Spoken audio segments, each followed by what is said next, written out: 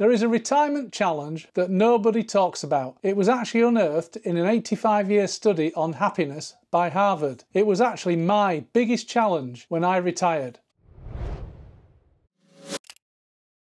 In this video, I'm going to share with you the details of that challenge. We'll talk about the retirement challenge discovered in the Harvard study, my experience of this retirement challenge, and advice to overcome this challenge. Okay, let's dive in and start with the Harvard study. In 1938, Harvard researchers began a study into happiness. That study still continues to this day. They wanted to find out what makes us happy in life. They asked people from all over the world, and as participants entered midlife and retirement, they started asking questions about retirement. Based on their responses, the number one challenge that people faced in retirement was this not being able to replace the social connections that had sustained them for so long at work. Retirees don't miss working, they miss people. One participant, when asked about what he missed from his 50 years at work, was this absolutely nothing about the work itself. I miss the people and the friendships. Another participant had a similar feeling. After he retired, he found it hard to stay in touch with his colleagues. For many of us, work is where we feel we matter most to our workmates, our customers, our communities, and even to our families because we are providing for them. Here's my early retirement story. The findings of this Harvard study didn't surprise me. After retiring early at 44, this was exactly what I discovered too. When I retired, I suddenly had an abundance of time and energy. It was a honeymoon period, but it didn't last. Like many new retirees, I poured my energy into hobbies and interests, like planning the travel to places on my bucket list. I got to spend a lot of time with my family. I ticked many things off my bucket list. One of the things I ticked off was that I got my motorbike license. I went down to Wales for six days and did an intensive. I hadn't been on a motorbike since I was 17 and in six days I went from that to having a full licence to drive a 650cc motorbike. I also indulged my passion for horse racing. I joined a syndicate of other owners and had a leg in quite a few horses, but something was still missing. I needed to work. I didn't want anything too substantial,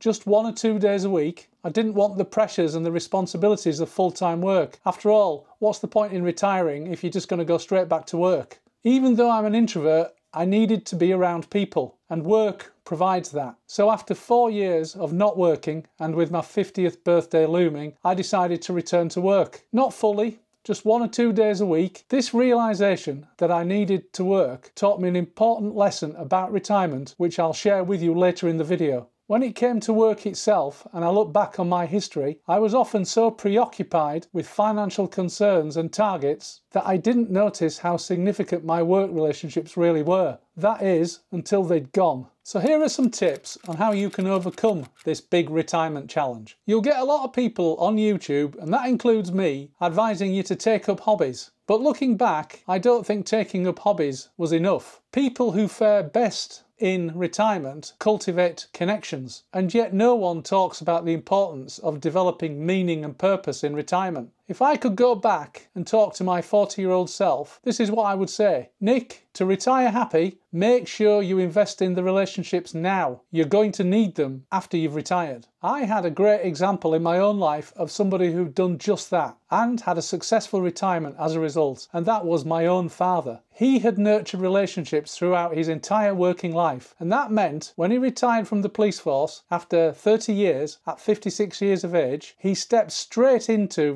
retirement with gusto and with plenty of people awaiting him. He played golf with his pals, he tended an allotment with a bunch of guys in the village, he spent one or two days as a solicitor's advisor on police matters. He was never stuck for company and his life had purpose and meaning. And not just that, he had plenty of social connections. That was the secret. Sadly, after retiring, my life didn't look anything like that. I left work after 25 years with not one single friend or colleague who I could stay in touch with. And I feel pretty bad about that. I had neglected this most important lesson from my dad. The reason I had neglected it was in the obsessive pursuit of ambition and business growth. It took the death of my father a year earlier to jolt me out of that obsession and set me on a path to early retirement at 44 years of age. So how can you avoid my fate? Well, you can start by asking yourself these questions. Who are the people I most enjoy spending time with? What makes them valuable to me? Am I appreciating them? Am I making enough of an effort with them? And what kinds of connections am I missing